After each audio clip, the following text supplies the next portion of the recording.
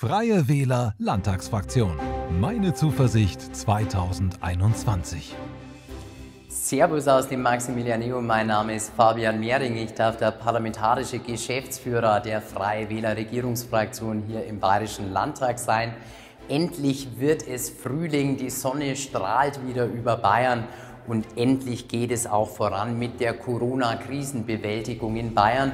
Weil die Menschen in unserem Land so gut mitgemacht haben, sind wir endlich wieder in der Lage, nicht mehr den Lockdown ständig verlängern und vertiefen zu müssen. Nein, wir können endlich wieder über verantwortbare Öffnungsstrategien miteinander diskutieren. Es geht die ersten Schritte zurück in Richtung Freiheit, in Richtung Normalität.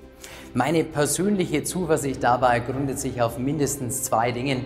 Einerseits beruflich. Ich freue mich darauf, dass wir hier im Bayerischen Landtag rauskommen aus dem Corona-Tunnel, wieder gestalten, Politik machen können, unsere Ideen für Bayern voranbringen zu können, auch wieder in voller Besetzung mit allen Kolleginnen und Kollegen und nicht mehr einzig im Modus des dauerhaften, lähmenden Krisenmanagements.